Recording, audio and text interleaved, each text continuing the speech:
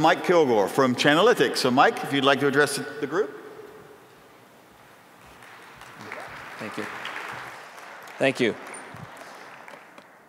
So, uh, here at Chainalytics, and literally here, as we are an Atlanta based company, um, offices all over the world, but majority of our employees are here in Atlanta. Uh, we have the privilege of working with a, a number of the world's leading manufacturers, uh, distributors, retailers, uh, both in a consulting capacity from an analytics and advisory perspective, but also we have the privilege of managing a couple of consortiums um, where companies give us transaction data in order for us to generate benchmarks and, and market insights. And uh, the first of those is our Freight Market Intelligence Consortium, uh, where we really focus on the dynamics of the, the truckload, LTL, um, intermodal, and, and, ocean freight markets. And, and more recently, our Sales and Operations Variability Consortium, where we focus on um, demand variability and, and, forecast accuracy. So, from these interactions with, with many of, of, these companies, we have the opportunity to generate a lot of um, insights into the trends and challenges that they're facing. Um, and I thought today that you know it's timely and relevant to to just discuss um, three of these, if it will forward, maybe manually forward.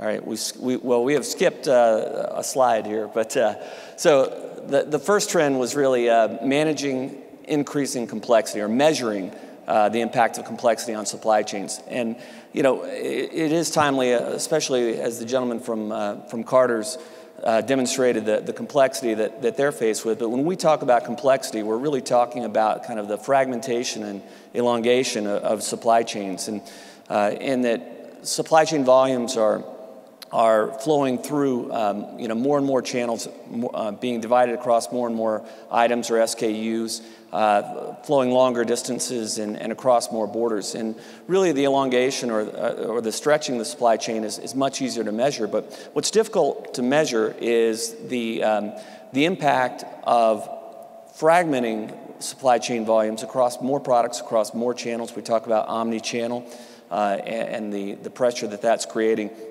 Uh, so really what we're seeing is an increased number of SKUs, shortened product life cycles.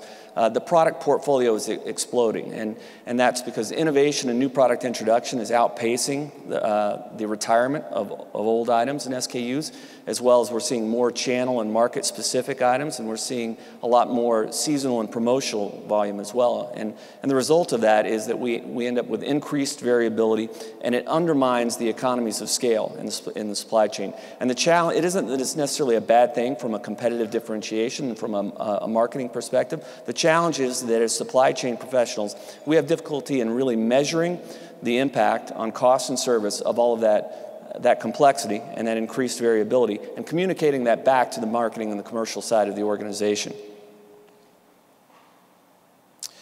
You know, the second trend that, that we're looking at is really within transportation, freight transportation uh, and, and, trucking in particular being our primary mode of freight transportation in North America, uh, what, we're, what we're starting to see and what we're going to, to see continue is kind of the transposing of the two major cost drivers being fuel and labor.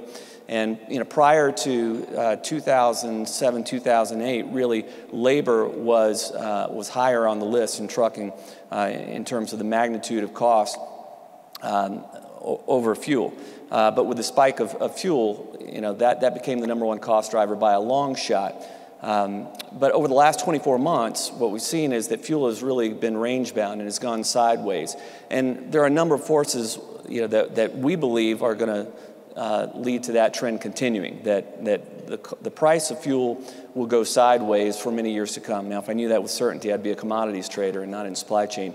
But we certainly believe that that's the case due to increased vehicle um, fuel efficiency, aerodynamics on, on the vehicles, of course, the displacement of petroleum based fuels, not just in commercial transportation, but in passenger transportation, which relieves the demand pressure and therefore will allow the, prices to stabilize. But on the flip side of that, what we've seen is that driver wages have not kept pace with, in, in, terms of real wage terms, with, with wages in general in the marketplace.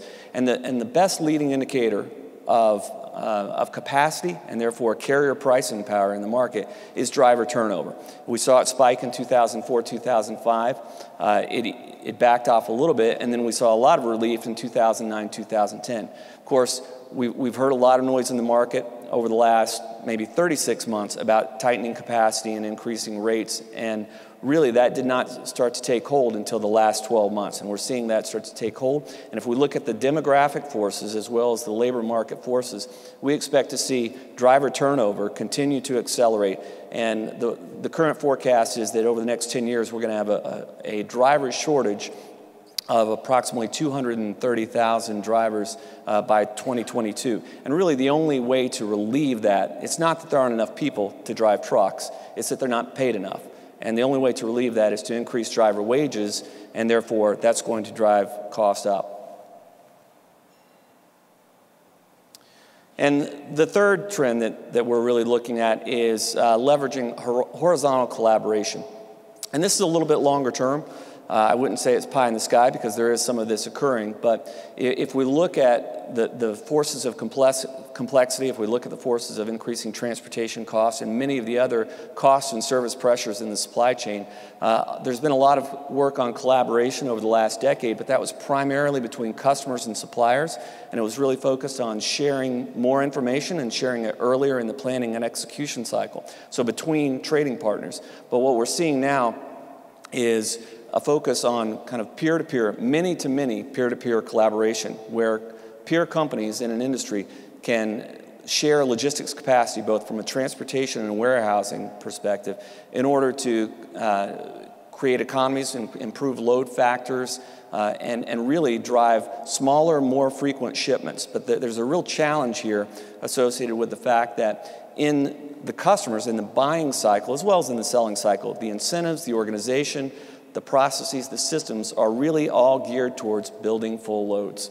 And so a, there are major hurdles to make, make this happen, but we really believe that, that there's a lot of opportunity here. And we're currently running a pilot with about 15 manufacturers and retailers, sponsored by the Consumer Goods Forum and the Grocery Manufacturers of America, that is specifically focused on proving out in detail the business case for horizontal, many to many horizontal collaboration, as well as kind of identifying in more granularity what those barriers to execution are. And, and you know, we're very excited about the potential as, as well as the participants are.